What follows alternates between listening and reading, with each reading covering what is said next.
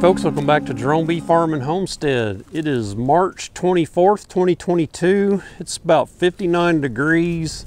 We got some uh, wind out of the north, so we just came through a probably five or six day really cold spell. It got down uh, very close to freezing, but I don't think we actually got a, a freeze uh, on a couple occasions. Uh, things are starting to bloom and we're way behind. We should have had our brood chamber rotations done by now and I haven't got it done because of this cold weather.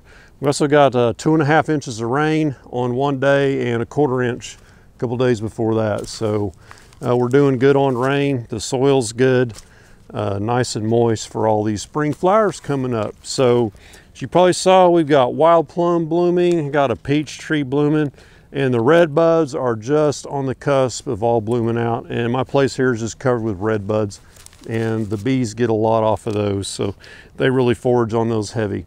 So today what i'm going to get done is i got to go through every hive uh, that's a double deep evaluate it and if the brood is all up in the top and there's not many bees in the bottom we're going to rotate those boxes and get the empty frames up top.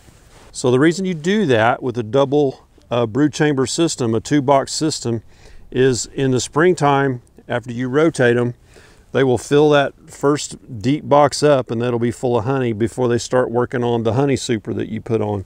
And that deep box in the top that's full of honey will be the bees' winter stores to get them through winter. So you want to be sure you have plenty of honey on there going into the fall so your bees can survive winter. If you don't do that, you're going to spend a lot of money putting sugar on your hives to get them through because they don't have enough weight in honey in there to survive on. So I did have a, couple three that I did put some sugar on that were weaker hives to get them through. But for the most part, my hives were fine. And that's why we do this double brood box rotation. So let's get in here. I got my little notepad. I got them all written down what I'm going to do. So this is just for field notes. When I get done with this, I'll go back into my three ring binder and I'll, I'll notate on each hive and start a, a sequential history of 2022 for all the hives that we go through. I'll also be paying attention for queens and see if they're queen right, if there's uh, brood in there. I'm not gonna just look for a queen in every box. I'm just gonna look for evidence of the queen. Once I see that, I'll note that and, uh, and we'll move on. So we need to get going and, and do this fast. Like I said, the, uh, the, the spring flow is starting to begin right now. So we're behind the curve. We should have had this done before, but the weather didn't allow it. So let's get in there and let's get going. Okay, we're gonna start on hive two here, but if you remember hive one right here from the last video, that hive is very weak. Uh, they've got like one frame of bees in there. So this was a double screen combine and I, I took them apart uh, before the cold snap hit and moved it over to the top part over there to number five and that hive is pretty strong. But this hive here was on bottom so it didn't get all the warmth. And uh, so what we're going to be doing while we're going through these we're also going to look for strong hives with uh, lots of brood. And we will take a brood frame and put them over here in number one and get them boosted up where they need to be. So let's get started here on number two and see what we've got. So it's a little bit on the chilly side to be doing this. Uh, 59 degrees, it's probably about 60. The, there's not a lot of breeze down in here.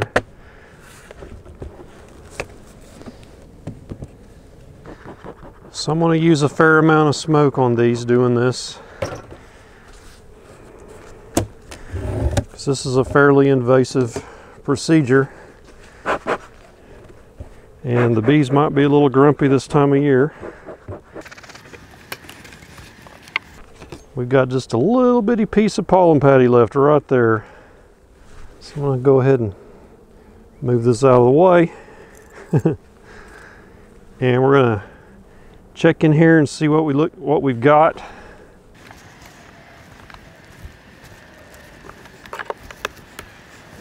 So here's a little bit of honey. So we aren't starving out. And they should be bringing in natural nectar now. Not a lot, but some. This doesn't weigh anything. Nothing in it. Same thing here. This has a little bit of weight, so there's honey and pollen, so we probably got brood here on the next frame.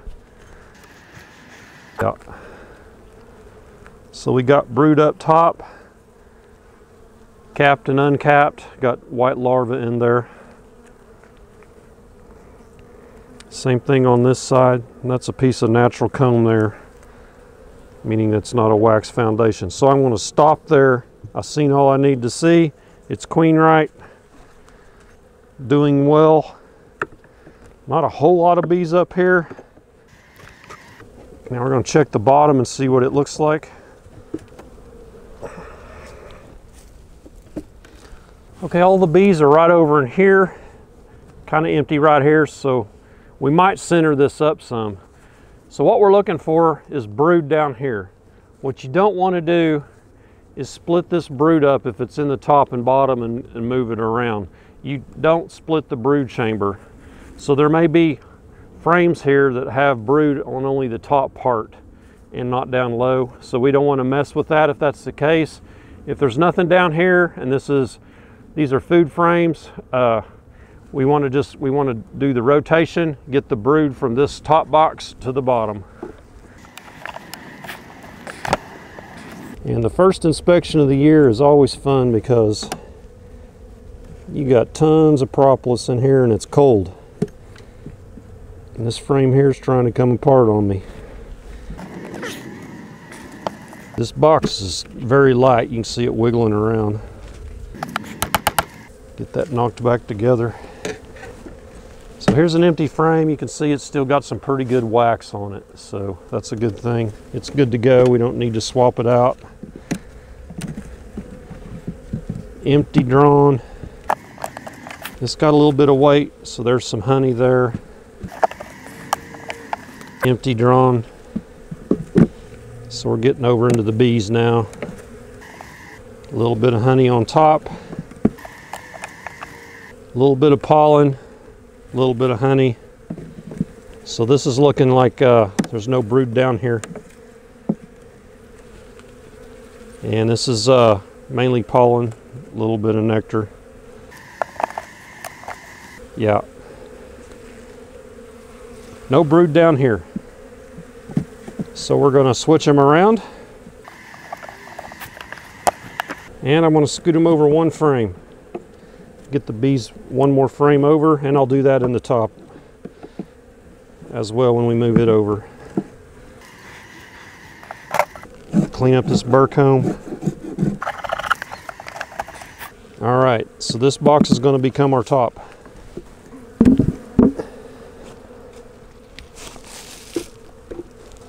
So while we're doing this, we're going to take out the entrance reducer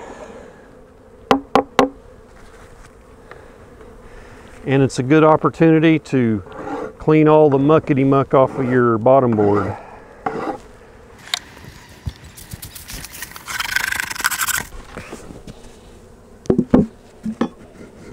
Okay, here's our top box going on the bottom. And we're going to scoot them over.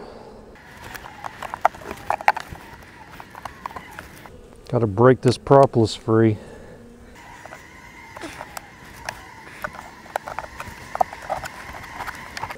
Just cleaning up some of this propolis. So I flip this around, put the side with the most comb towards the inside. Those outside frames, they tend to not use a whole lot, at least in my area, because I don't have that strong of nectar flows. And on a 10 frame hive, they usually use eight. I'll put this little piece of pollen patty back right there. Also pay attention to your box orientation. If this was the front and you took it off, the, be sure you put it back to the front.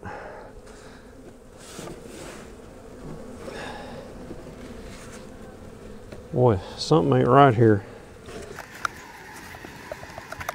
Oh.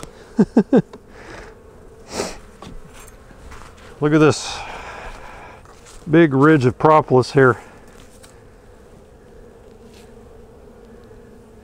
There we go. Yeah, so that's sticking up, wouldn't let it go down. So they had that down over the entrance, reducing it down. So they built that up before I put the entrance reducer on it in the fall because they were reducing it down on their own. So we got to get that cleaned off of there. Now that's good clean propolis that uh, you could uh, use for whatever, sell it. I'll lay it here. It's supposed to be good for like uh, toothache. Mix it with alcohol and make a tincture out of it. That's what I've heard. I don't know that I'd want that in my mouth. To tell you the truth, it's kind of gross. Clean these off. Okay, let's try that again. Yeah, this box here is pretty light compared to that other.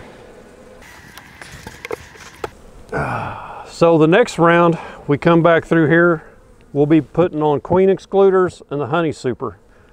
Once the flow gets going good, and they'll just move right on up and fill them full of honey if we have a good nectar flow.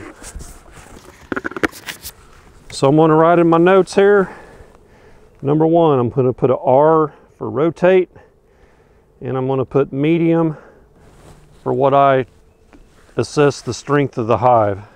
So you can see there, that's how I'm taking my notes. So I'll note if it's rotated, the strength of the hive, and then I'm also going to put QR for queen right.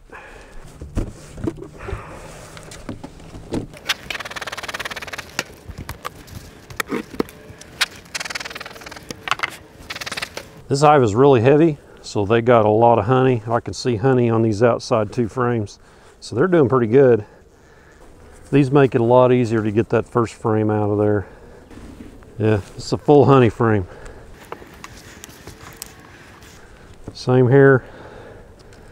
Completely full honey frame. This hive was loaded. Same thing on the third one. And this one's same thing. Full honey frame. Man, I'm going to take one of these, give it to hive number one. I'll get one of these that don't have a bunch of bees on it.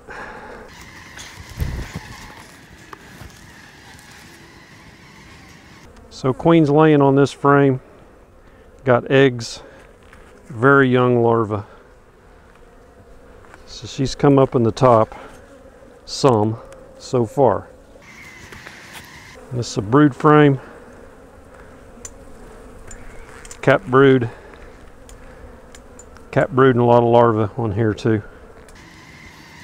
I don't see our queen. That smoke may run her down. This frame looks just like the other. A few less cap though.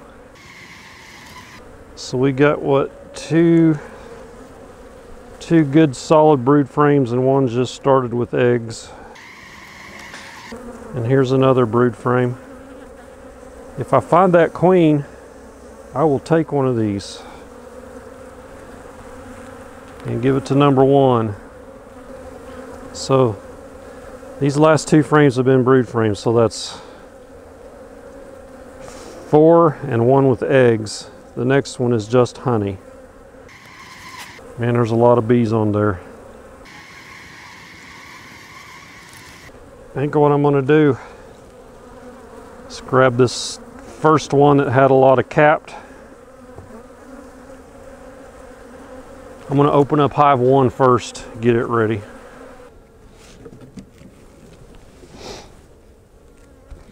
All the bees clustered right there. They're still chilly in here.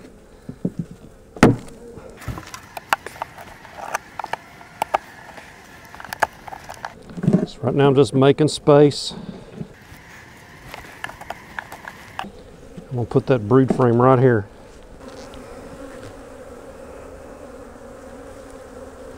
I haven't found the queen, so I gotta look at this real close and take my time.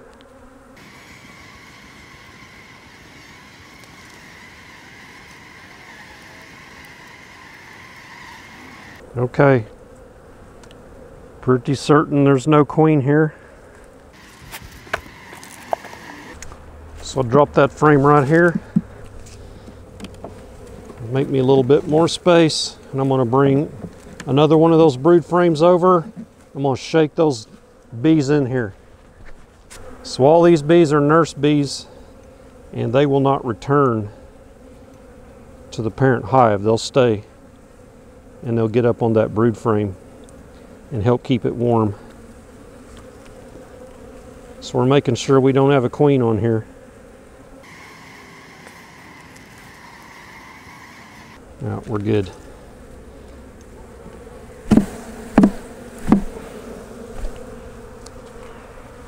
So now we're taking two frames back over here.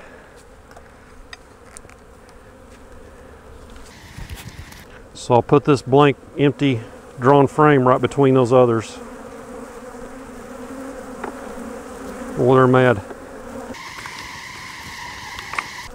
I'm gonna put that honey frame back in here.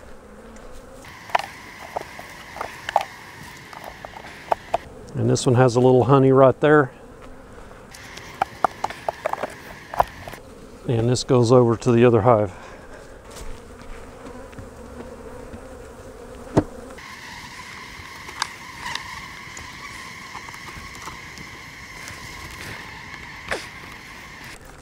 Get hive one closed up.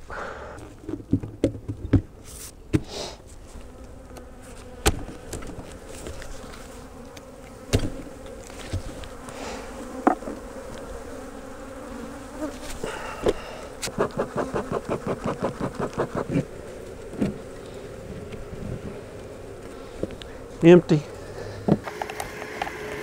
A little bit of honey. A little bit of honey. A little bit of honey on the opposite side. Empty. So it's looking like this is going to be all empty.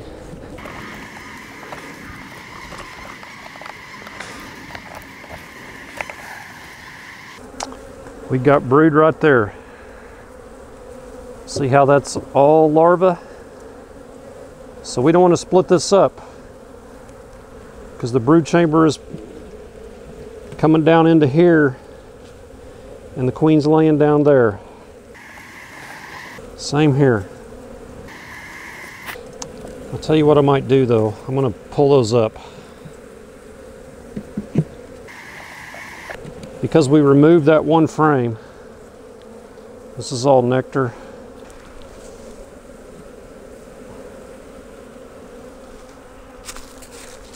Okay, so I took those two brood frames and put them right here between those other brood frames.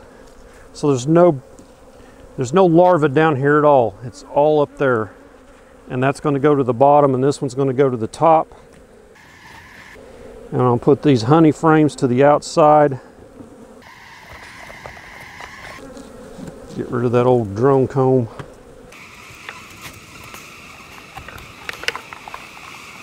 This is a solid honey frame, so I'm going to put it to the outside. I'll put these empty ones towards the middle because this is going to be our new top. These, these all have honey in them here. Gotta love this propolis in the spring.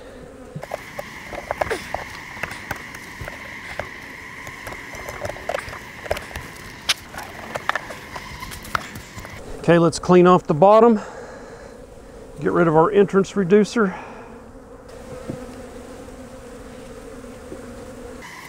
Get all that propolis. Good grief.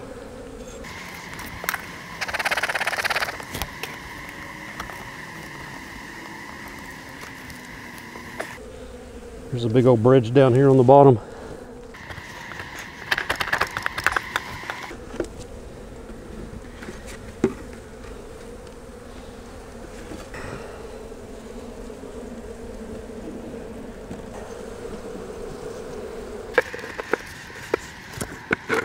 Okay, so this hive here, uh, it did have some brood in the bottom, and normally I wouldn't rotate that. But it was two frames that had it just in the top, and that's what I was telling you about. You don't want to separate those and, and break them apart. So what I did, so you saw me take a, a, brood frame, put it in number one to boost them up, and I also took a brood frame of, of, the nurse bees and shook them in over there. So number one's got a little bit of a boost now, but they could still use some more. But since I took that one brood frame out of here and uh, a frame of honey, I went ahead and pulled those two frames from the bottom that had the uncapped larva and put it right in the middle where that other brood was. So it's all still together and it's all been rotated and moved to, it's all on the bottom now and the empty box is on top and I moved the honey frames to the outside. So that's kind of another variation on this rotation. So this, this hive here is really strong and it's set and uh, it's gonna do well this year. Didn't see the queen, uh, so uh, I, I, normally like to see the queen when I start moving bees off to other boxes. So you run the risk of, of missing her, but I did look real close, so I think we're good. So uh, I'm going to end the video here. You can see this is a long process. It takes a long time, and uh, I got like 25 more to do. So I'm not going to video all that. You get the gist of it. So that's the end. Uh, give me a thumbs up and please subscribe on your way out. Uh, hopefully we'll hit 10,000 subscribers this year. That's pretty awesome. So we'll catch you on the next beekeeping video. Y'all take care.